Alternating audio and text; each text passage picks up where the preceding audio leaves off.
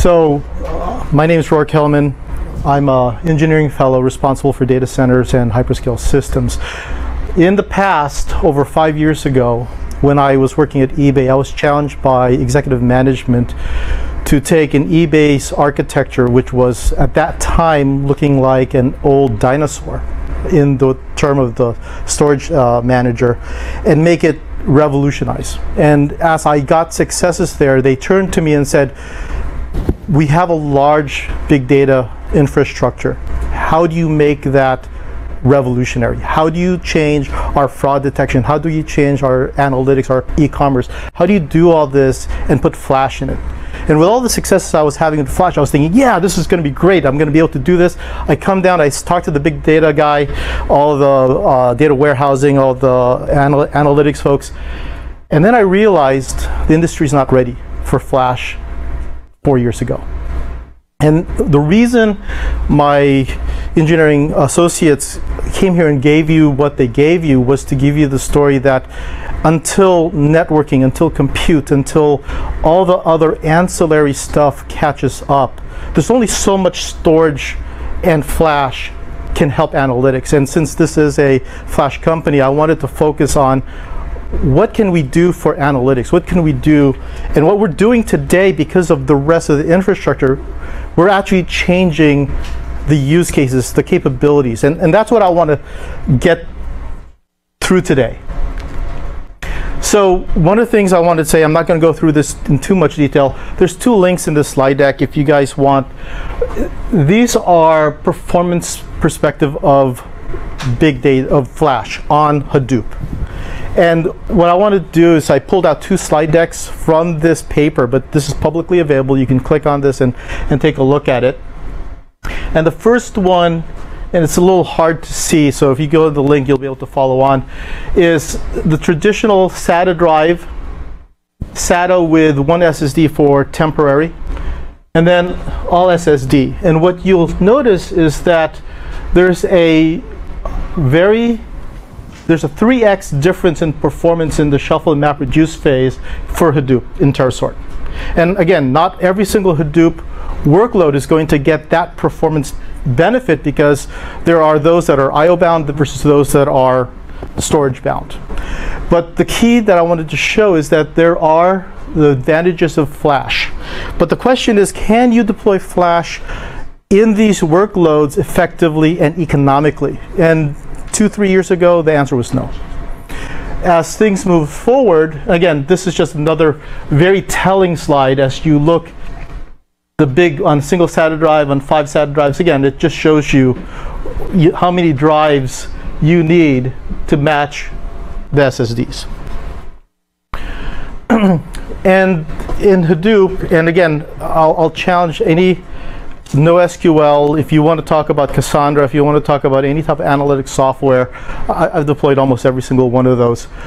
Um, unlike some of my peers, I came from the operations side of the world where we did a lot of deployments. I worked with the data scientists, I worked with a lot of the different databases and analytics folks. So the pain points were very near and dear so the, one of the problems is, and I don't know if uh, if you guys have the same experiences, but a lot of the applications can handle a drive down. You know, drive down is a matter of just redistributing the data. But when the compute is down, you lose either 50% of your compute or or one third of your compute. Because usually there's three replicas and each replica is on a compute and you want to distribute your data on that compute or that rack with that compute on it. So you lose uh, storage availability and you lose compute availability until that compute is re repaired. And again, a compute down is an amount of storage. If you have 8 drives, 12 drives, whatever amount of drives, you lose that amount of capability. A rack down is usually a very impactful thing in a lot of these areas. And what you want to do is you want to move away from, even though rack down is handleable, nobody really wants to handle a rack down. It is a major impact and God forbid uh, a, distribution layer switch down or even you know any of your other infrastructure down. And uh, this is just a repeat, just I wanted to re-emphasize. When you look at the cost point, when you talk to people and that's hard drive based, they're going to tell you six to nine cents.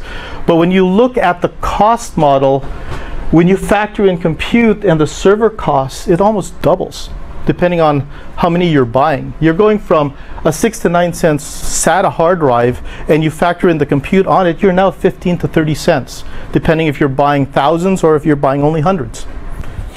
And so when you take that cost and you replicate it, you're now in the 45 to 90 cents. And hard drives. The one thing that the ops team that I worked with have always said when you deal with petascale, tens and hundreds of petabytes of this type of uh, situation, operational fatigue. Day in, day out, all they do is repair. So what we've proposed, and again, this is going to the use case of why this matters, is this new deployment model where because of the density of flash, where we're literally at the same density level as your biggest disk, 8 terabytes. I mean, you have 8 terabytes drives today from HGST and others, and 10 terabytes is coming up. But our device today is 8 terabytes, and we could easily go to 16 or uh, 16 terabytes whenever anyone asks us for it. We're able to, because of the change in form factor, we could actually go to any size we want because we're unbridled by the folding technology or anything else. It's just we didn't believe anyone wanted 16 terabytes in a drive card at the moment. Though we're being proved wrong as, as we go to a lot of these large customers, they want it. And once you hear about some of the use cases I'm talking about, you'll see why. So think about it this way. If you look at it where you aggregate all your storage into one area and you now can separate your servers, your analytics side separately, you now have the ability to grow your storage independent from your analytics. You can now burst up your analytics if you need it or burst it down if you don't need it. You could also right size instead of doing the traditional storage with compute and grow linearly, you can now right size the compute from your storage. And that really breaks apart your environment because now the bus that you're using, which is the network, has moved from 1 gigabit, 10 gigabit, end of the year 25 gigabit by transceiver change 50, 100 gigabits next 18 months. Three years, you're at 400 gigabits. So the bus is now the network. And the media, because spinning media drives, I mean, if you had the, the fastest tailwind on a SATA drive, you might be able to hit 180 megabytes per second, as long as there's no crosstalk or whatever. With lots of crosstalk, in fact, with a queue depth of 16 to 32, flash devices can hit a throughput of over 400 megabytes per second, up to 500. In fact, with large block throughput, our InfiniFlash box can actually, with 6G SAS, we can hit 8 gigabytes per second measured. With 12G, we can look at 16 gigabytes. If you just take that and measure the ratio, you can do 48 servers to one InfiniFlash box. Or if you took two InfiniFlash box and got one petabyte, you could service 98 servers. So when you look at a model like this, where you put two InfiniFlash for one petabyte and put a dense view, the servers just hasn't caught up in density. But instead of doing a 32 cores to 12 drives, these can be higher core devices having more analytics capability, denser capabilities with flash, being able to service it at a much faster ratio with less impact on ingest, less impact on rebuild. And the whole aspect is because it's a tier or a whole storage, it's primary storage, not a cache, you can now move data to lower cost, 3 cents a gigabyte, 5.9K drives, SMR drives, and manage the I.O. on those drives so it's streaming reads or writes. And, and who would care? Video surveillance, advent of 4K cameras. 98% compression, that's 20 megabytes per second streaming throughput per camera. Multiply that out by thousands of camera. The writes on hard drive, at, you know, if you're lucky, sequentially, if it's all coming down sequentially, you'll be able to write it. But reading it, multiple cameras sequentially going on a hard drive, real time, it's fragmented. Writing is all sequential, but once you read it, the fragmentation of how it's written, because it's first come, first serve, you're not going to get the same throughput. And once you start deleting the data because it's and you've moved it over or, or you've deleted because it's expired and you want to now add more data, now your file system's fragmented unless you go off and format it and then redo it. And then how do you do analytics on data that you just stored? Because you don't want to just take surveillance footage, store it, and then only look at it if there's an event, you want to start doing analytics. Everyone we've talked to wants to take the retention period on video surveillance, make it longer, and then do analytics on it. So end cameras do analytics at the camera level to do facial recognition and other things. But it's the mix of the cameras from one critical infrastructure like a nuclear power plant with other nuclear power plants around the country. If you see the same face within six months across five nuclear facilities and they're not employees, that should trigger something. But right now, you can't do that because there's no way to be able to analyze. Everyone's storing data on hard drive and analyzing from that is a problem. So in this model, InfiniFlash can handle the ingest of that data. It can handle the migration of that data. It can handle the read of the data. So the, the whole aspect is when you have data that has high value and that value diminishes over time, and then you have a long tail where there's spikes in value based on events, a tiered model is perfect with InfiniFlash in the front end. What you end up having is a tier of high value time data in the front end handling the ingest, handling the read and the analytics of that. And then as it moves down to the lower end aspect of the long tail, spinning media, three cents a gigabyte. And all of a sudden you now need to access something from there because you want to see if, if this event happened three months ago, nine months ago. Well, what ends up happening is you can tell InfiniFlash, don't migrate, don't batch move anything while I'm reading this data.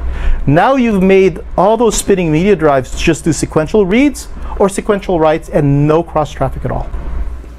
And only because InfiniFlash has the capacity as a tier. If it was a cache, you wouldn't be able to do that. And the aspect is when you look at spinning media drives at six to nine cents aggregated across a large deployment, your average could be about 60 cents a gigabyte, 75 cents. Let's just state that. You look at InfiniFlash, we publish that we're about a dollar gigabyte or less. And as your procurement is higher, the cost, of course, is economically will go lower. When you look at erasure coding and all the ad addition, and then you say, 60 days on InfiniFlash and 180 days on this low cost tier, your average cost for that deployment is now less than 40 cents a gigabyte. And in the video surveillance market, 50 to 60 cents is the sweet spot. And now you've been able to do higher fidelity, higher capabilities with analytics capabilities in video surveillance. Now take that into other types of analytics workload.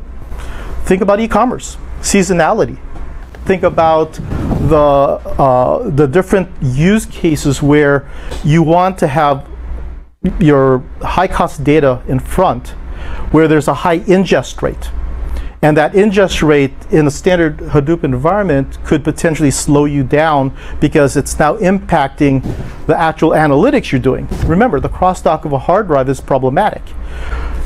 We've measured that when you do both reads and writes on a hard drive on our InfiniFlash uh, cards, the impacts for the reads and writes are less than 20%.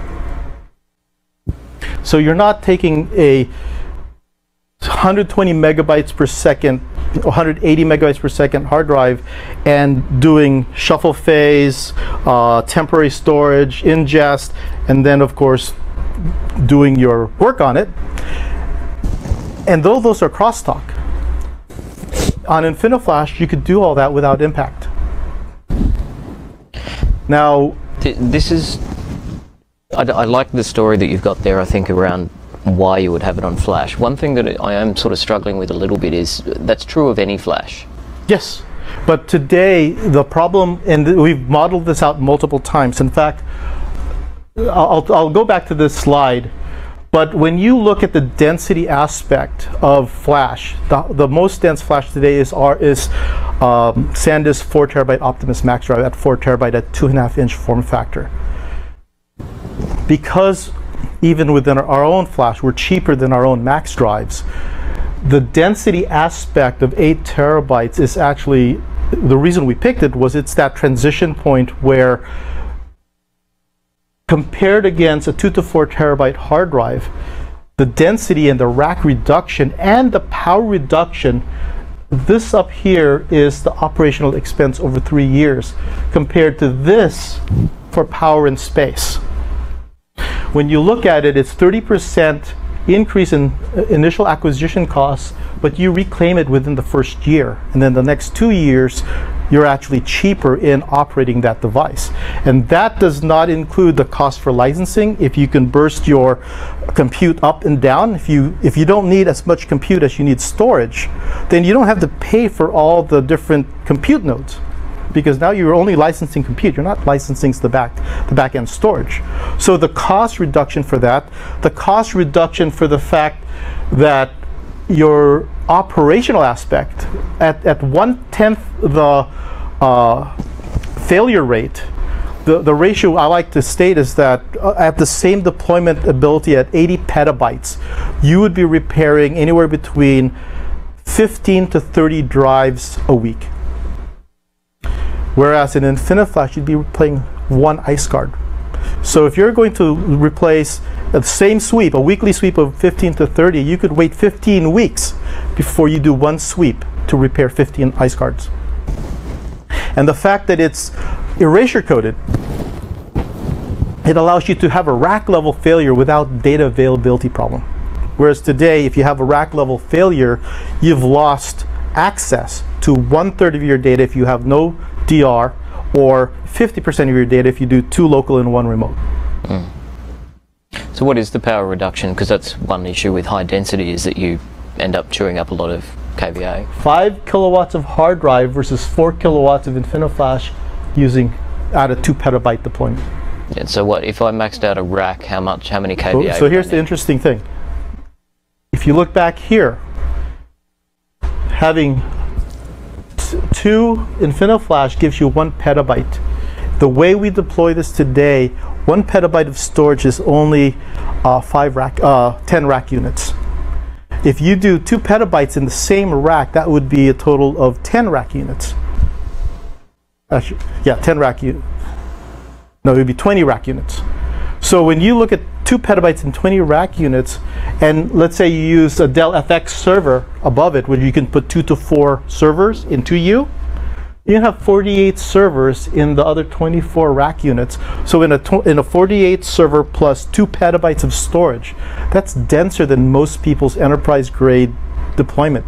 At a standard one rack unit, 16 core with uh, 12 drives, you only have one petabyte in a rack with 48 servers. Yeah, I'm sorry. What I was what I was thinking is I could just fill racks full of storage and then have an interconnect across to my compute nodes that live in a total other bit part of the data center. Yeah, so that I'm scaling both of them independently. Right. Yes. But what's the power requirement for putting that much density in one rack? Do you know what the kVA are for? For the InfiniFlash or yeah. for the compute?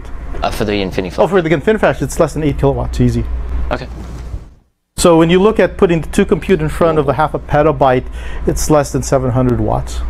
And it really depends on how much compute you really need to put in those servers. They're just providing data node only services with erasure coding capability. So you're not looking at more than maybe six to eight cores per server, two servers per InfiniFlash. So it's really low power usage. In fact, the, one of the key values we give to the enterprise, especially since everyone has power and uh, space concerns, is the fact that we take less space and we're less power for your data storage so that in a model where you intersperse it physically with the compute within the same rack as the storage, so you have more fault domains for the storage, you actually can have a balanced power profile. So four petabytes of InfiniFlash frees up a lot of kilowatts based on a hard drive based system. Again, use up about one to two kilowatts, and now you can put those into your dense compute. And with Haswell, higher core with better wattage capability, better than Sandy Bridge, now you can do a very dense profile. You, tr- you try to do that with drives, you need more drives to be able to use those cores. But again, that's a similar story that you get from other flash vendors. But they don't have eight terabytes. To be able to Yeah. do that, Yep. to be able to do that, they're, they're going to need to have a lot more servers. Mm. You know, the, the densest 2U box have only 24 two and a half inch form factor s- slots. Yeah, what, what I I guess what I'm getting at is rather than having it be Flash is good because X, um, is to try to find out from what's unique and special and great about your thing, particularly as it relates to data and analytics. So the story you were telling before about So- um, so our- streaming 4K video and then being able to analyze that online without it having to go off to another tier or off to tape, that's a great story. Yeah. Um, do you have more of those that we could hear about? Yes, yes. Uh, again, that that's what I'm going to be talking about. Cool. I just wanted to give you guys this view of the, you know, this is some of the things that you're looking at. One tenth failure rate. Again, the uh, power savings, the distribution. You know, Alan was saying 20, 25 percent, but we could actually go as low as 15 or even 10 percent if you have a wide enough data distribution model and and everything here. The, the key here is if you look, and again, remember, any flash can potentially do this. The the key is our flash is lower cost, higher density than anyone in the in industry today, and we're planning to keep that leadership as we move forward, and we're also creating key IP and, and this is one thing we didn't have. We, we don't have a software stack to show you where we actually have a data optimization layer. It's called our SDK Plus, where we add optimization layer that you could put below your application.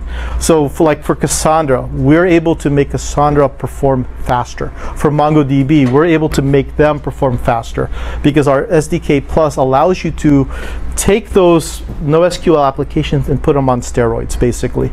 Make them optimal for Flash because a lot of these NoSQL are developed specifically for hard drives. So when you start looking at it, when you look at this, yes, Flash can get here. Once our competitors start making 8 terabyte drives, we're on to the next thing, and we will start showing you every six months. We will continue giving you guys capabilities that will continue to change. We, we're, one of the things we have to worry about is if we're the only ones doing this, a lot of the hyperscale customers will say, I want two sources. So if we're too busy being the only source for this and the only model for this, we're not going to get wide adoption because we're, we're going to be a one-stop shop. So the key here is we know our competitors will get here, whether it's with eight uh, terabyte density or or with two or four terabytes with lower cost. They're going to get to this model, and we want them to, so that we're not the only play, but at the same time, we're the ones with the cost, economic, and density value. And as we move forward, as they catch up to us, we will have more disruptions and more capabilities. So I want to be able to give you something to think about because the next time you're here, you're going to hear things where we're treating Flash in the industry as Flash. Today, everyone in the industry treats Flash as hard drives, from the form factor two and a half inch, from the failure models of Flash, from you know all the way they talk about Flash. We, we have key patents that we're, we'll be releasing in the near future that will change the way people handle Flash so that it's actually handled like Flash. And, and there's a, and I'll give you guys a hint. There's a reason why we call it Infinite Flash. Okay. And so let's talk. I, I don't have any more slides that I wanted to go through because I want to talk about use cases. What else you can use this for? And I didn't want to put slides there because a lot of this is going to be more uh, discussion oriented. So one of the things that we're talking to in a lot of our customers is what's called edge to core computing. When you look at data collection, you know, pick commerce, pick uh, banking, pick any industry, there's usually data collection at the edge. There's some type of reduction of that data and it moves closer to the core and then it moves closer to the core. But at the amount of data people want to do, they're losing data every time they do that leap because they have to reduce it because there's only so much when you can do. and they're introducing delays. Yeah, yes, and, and and one example would be like let look at you know an, a, a, a commerce shop, a brick and mortar store.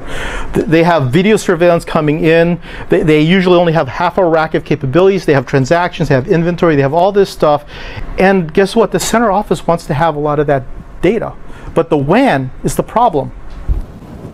Well, how much easier it is to just pull eight terabyte cards, grab a box and ship it. That's way faster. That's higher bandwidth. Even though it may take 24 hours, you're still able to ship. Just give you an example. A rack full of InfiniFlash with the compute of it, that's six petabytes.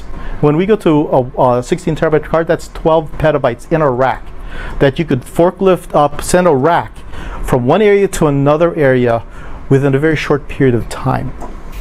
But we're also, I mean, with a lot of these problem cases, we're also trying to find ways to move the compute out to the edge But the rather edge, than transferring all the data. the problem with the edge is that the edge usually does not have the power, the space. Yep. And now with the density of InfiniFlash, at the edge, a 3U box can now handle all your storage for video surveillance, for inventory, for databases, even for local analytics.